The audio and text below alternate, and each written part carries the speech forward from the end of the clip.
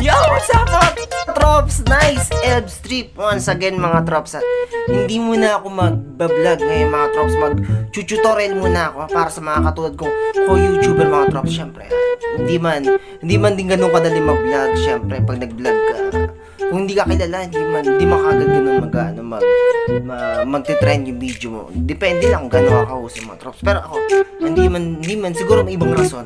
Gusto ko muna mag-tutorial mga mga trops. Kung paano, paano mag-post ng voting survey sa YouTube mga trops at hindi na mag-intro, let's go. Yo, assuming mga trops nakapag-sign in na kayo sa inyong YouTube, YouTube apps man yan o di kaya nakapag-sign in kayo sa browser ng YouTube, ang una nyo lang gagawin mga drops, punta lang kayo sa inyong community. Kung nakapag-enable na kayo ng community tab, may community tab na kayo, delete nyo lang po itong inyong community. Boom. Yan mga drops.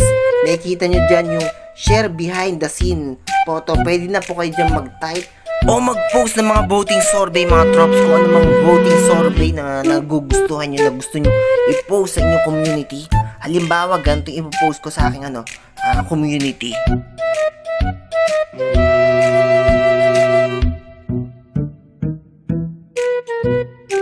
Halimbawa mga trops, ganito yung tinype ko sa ano ko, community ko.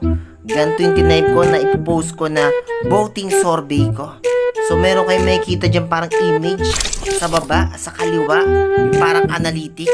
I-click nyo lang yan mga trops. So ito i-click ko para mag-add tayo mga option. Ito yung, ayan yung tanong, di ba? Nagustuhan mo ba ang pamamahala ni President Duterte? So, mag-add option tayo mga trops.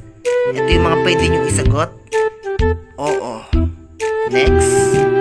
Yung pangalawang sagot ay, yung pangalawang pwede nyo isagot ay, hindi. Next.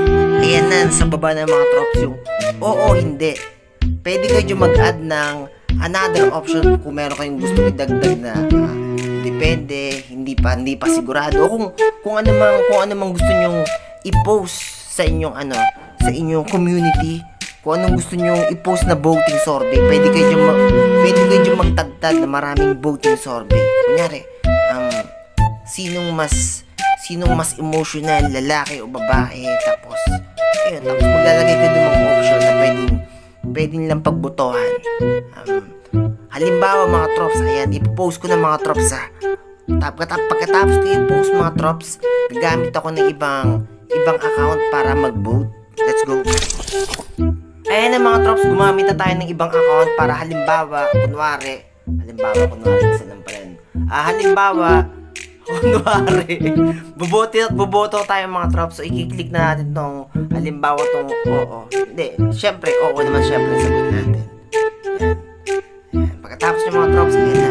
Ayan na po yung tutorial natin mga trops kung paano mag-post ng, paano mag-post ng voting survey sa inyong YouTube mga lang, sana mga trops kahit paano. Siguro yung iba magtataka na naman iba, mga kaibigan natin yung mga ko-YouTuber ko kung bakit ginawa ko na naman ng tutorial mga ganito. Syempre mga trops, malamang kasi iba, basic na lang to eh.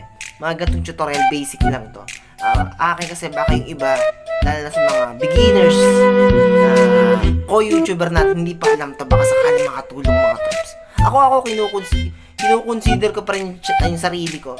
Kasi totoo naman talaga, ano pa rin ako, beginners pa rin ako sa pagiging YouTuber mga trops. Beginners pa rin ako. Maliit pa rin yung ano ko, subscribers ko mga trops. Ayun lang.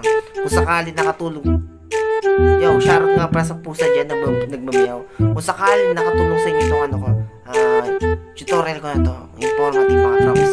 Uh, give me a thumbs up. Kahit di, kung di pa kayo nakasubscribe, uh, thankful ako kung mag-subscribe kayo. Kung hindi, okay lang.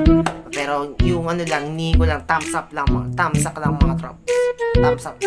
Thumbs, thumbs up. Nasanay kasi ako sa thumbs up eh. Thumbs up pala. Thumbs up lang mga trops. Yun lang. Hanggang sa muli mga trops. Hasta la vista, amigo, amiga.